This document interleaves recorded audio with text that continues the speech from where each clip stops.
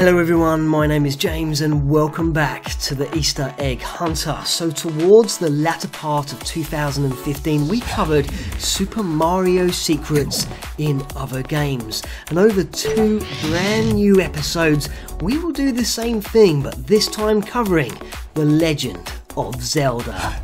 And for our first instalment, we'll be covering 8 individual secrets spanning 8 different titles across 7 different platforms.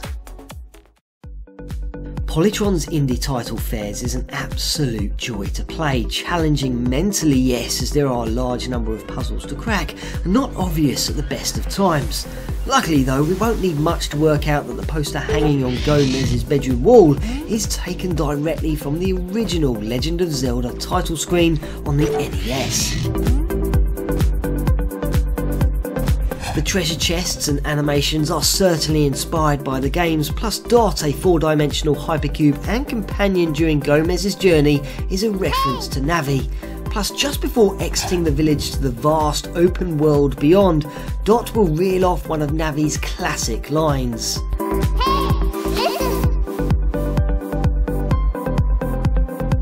In Yoshi's story, a family favourite from the past, page 2 is set in the cavern.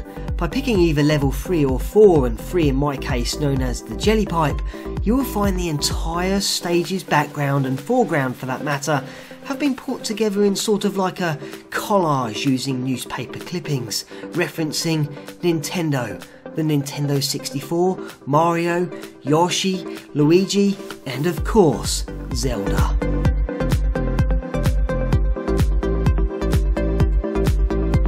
Link over the years has paired up with his trusty steed Epona on many adventures, including the Ocarina of Time, Majora's Mask, Twilight Princess, and perhaps one day in Zelda Wii U. During LEGO City Undercover on the Wii U, there are no horses by that name, but you could always hijack the city bus that has been named after our friend.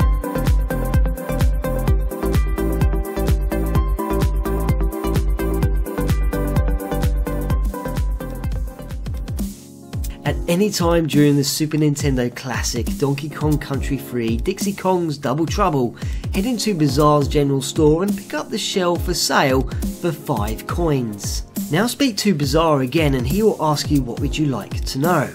Select the question of, so who owns the castle? Bazaar will answer the question but at the expense of two more coins and instead decline saying you're saving your stash for Swanky's. To which Bazaar will say this.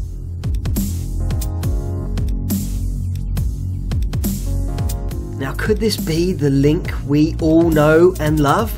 Well, let's find out, as Bazaar then says, He didn't have enough coins, but he seemed such a nice fellow that I agreed to accept 500 rupees instead. Guacamelee references so many games and characters it's hard to keep up with them all, plus previously we also visited the game during the Super Mario secrets in other games. But for anything Zelda related, just step into the Combo Chickens gym. Inside, the background is plastered with advertisements including tonight, the one and only El Hero, featuring a representation of Link holding up an item or, in this case, a man, and the Triforce is portrayed behind him. There is also a nod towards Majora's Mask reading La Mascara.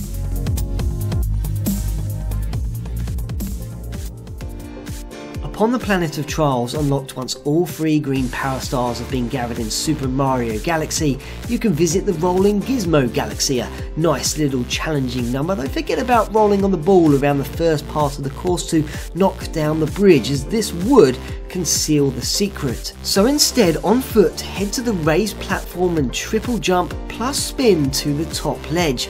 Then carefully maneuver towards the edge and look down where a gathering of blue star bits lay below in the form of a rupee.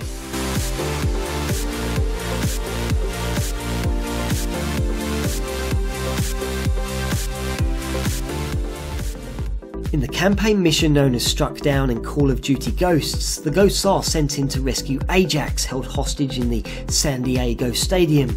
Not long after eradicating the soldiers by utilising a remote sniper where Ajax is being held, the team will approach a shutter and toss smoke grenades underneath to distract and take down the enemy. From here, hop through the window of a nearby office and glance at the now smashed trophy cabinet where on the second shelf down a rupee shaped trophy rests, inscribed and awarded for most bushes cut and pots smashed.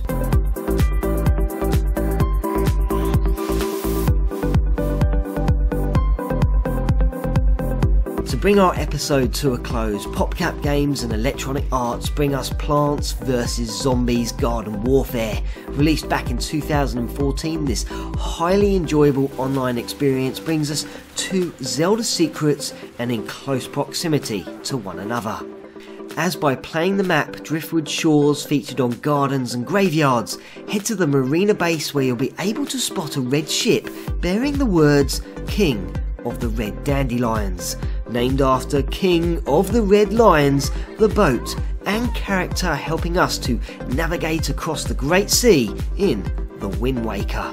And literally just by looking out to sea at this point, you can make out the silhouette of Outset Island.